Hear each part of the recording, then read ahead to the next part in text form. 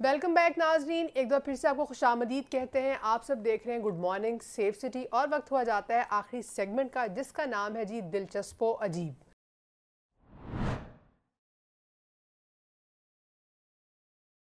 तो पहली दिलचस्प अजीब इंटरेस्टिंग सी खबर जो मैं आपके लिए ढूंढ के लाई हूँ वो वाकई मुझे पढ़ के भी बड़ा मतलब मज़े की भी लगी। हाँ और इसमें एक लेसन भी है। आज मेरी कोशिश ये थी कि ऐसी कोई खबर हो जिसमें आपके लिए कोई लेसन भी हो।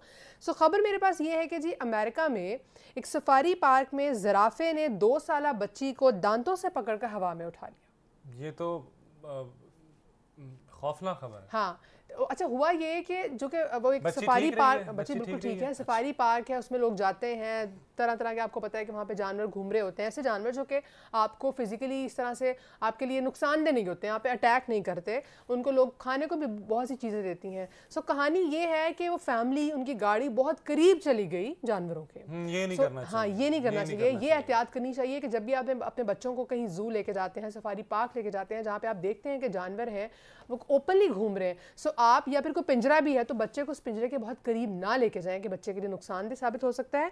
सो ये गाड़ी अपनी लेके काफ़ी करीब और खाना चुके दे रहे थे तो जराफा ज़ाहिर आपको पता है उसकी काफ़ी लंबी गर्दन होती है। तो वो आके उनसे खाना ले रहा था।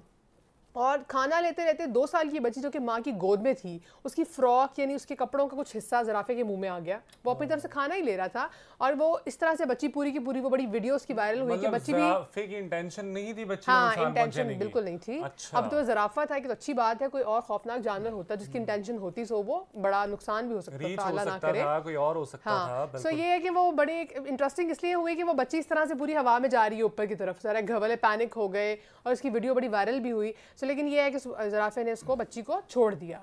बच्ची महफूज है। सो कहानी बताने का स्टोरी बताने का पर्पज़ भी ये है कि आपने एहतियात करनी है बच्चों को लेके ज़रूर जाएँ लेकिन कोई नाखुशगवार वाक्य ना पेश आए सो आपको पहले से ही केयर करनी है। ज़ुबैर से पूछते हैं क्या खबर आपसे शेयर करने जा रहे हैं? जी मेरे पास ये खबर है मैं भी बड़ी खबर ढूंढ कर आया हूँ और ये थोड़ी सी एक इंसानी जिसम से रेलिवेंट खबर है जो मैं ढूंढ के लाया इंटेलिजेंस की खबर जी इंसानी हम्म। जिसम से रेलिवेंट खबर है ये और ये आपको कहीं पे जनरल नॉलेज का सवाल आ सकता है किसी इम्तिहान में आपको ये अगर आप जो मैं ख़बर आपको बताने जा रहा हूँ इसको अगर आप अपने जहन में रखेंगे तो कहीं ना कहीं आपको ये ज़रूर फ़ायदा देगी। अच्छा Zubair sorry to cut you मैंने वैसे नोट किया है मेरे ख्याल नाजिन ने भी नोट किया होगा कि जुबैर जो खबर ढूंढ के लाते हैं वैसे हमने ये सोचा होता है कि एक खबर ताहिर आप ढूंढ के लाएँ एक जुबैर कहते हैं मैं ढूंढ के लाऊँगा।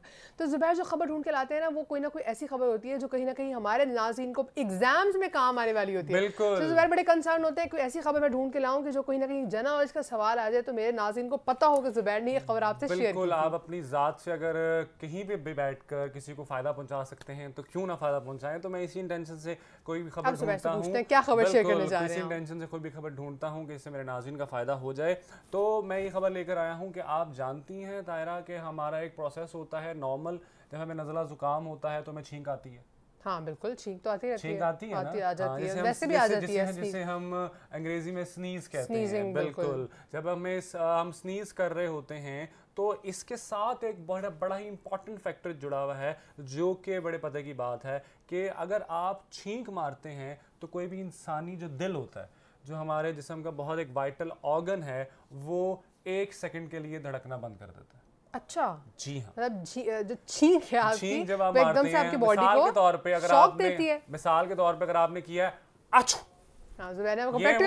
हाँ, अच्छू मैंने किया है ये अच्छू मैंने सिर्फ़ एक प्रैक्टिकल के तौर पे किया है अंदरूनी छींक नहीं आई।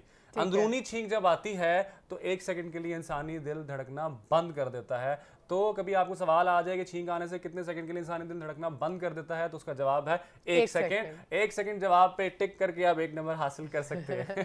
तो जुबैर की जानब से ये आपको एक नंबर मुबारक हो और आप अपने कमेंट करना नहीं भूलना हमें बताना है आपको एग्ज़ाम इस, इस हवाले से आप कितना मुस्तफ़ हुए या फिर किसी को क्वेश्चन आया भी हो तो वह शेयर कर सकते हैं कि हाँ जी मुझे ये सवाल आया था। और मैंने इसका ये जवाब दिया था। ये जवाब दिया था। कॉमेंट आपने कहाँ करना है? हमारा ट्विटर का अकाउंट है पी एस सिटीज़ और हमारा फेसबुक अकाउंट है पंजाब सेफ़ सिटीज़। अपना बहुत सा ख्याल रखिएगा, कल किसी नए टॉपिक के साथ, कुछ अच्छी बातों के साथ आपकी खिदमत में दोबारा हाजिर होंगे। अल्लाह ने के मान